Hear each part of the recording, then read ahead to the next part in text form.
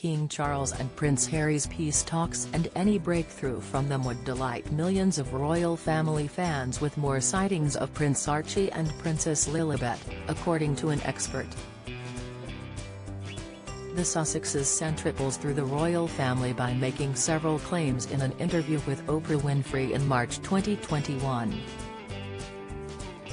Last December, more claims were made in the couple's Netflix documentary and then in Harry's own tell-all memoir, Spare. Harry will return to the UK next month on the eve of the first anniversary of the death of Queen Elizabeth II in order to attend the Well Child Awards, fueling hopes he will meet with the King and make a breakthrough in extremely tense relations between the pair. One entertainment expert believes more public appearances from the Sussex, along with a breakthrough in any peace talks between Harry and Charles, could mean the public get rare sightings of Archie and Lilibet. Mark Boardman told Daily Express, the success of Meet Me at the Lake could further solidify their media career path, but its outcome will also be influenced by their broader contributions to the entertainment landscape. Meghan Markle's surprising three-word reply to late Queen to solidify the relationship, more public appearances between Harry and Meghan are needed.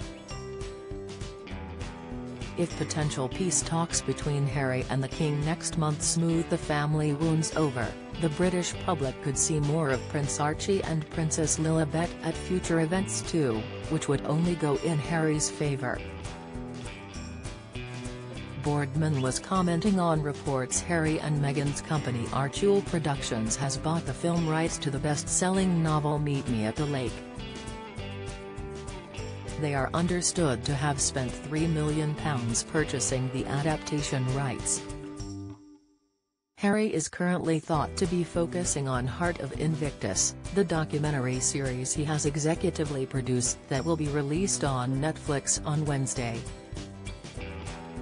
Meghan's next move is less clear, but an insider has claimed the former actress is plotting a big relaunch that could shock many as it won't be what everybody is expecting it to be. This has led Boardman to tip the Duchess of Sussex to produce for the first time as part of the bumper £80 million deal she and Harry have with Netflix. He told Daily Express US, Meghan will be planning new philanthropic endeavors and will no doubt relaunch her media career stateside. However it could be some time in the making before we see the finished product of her projects, many of which will currently be on hold.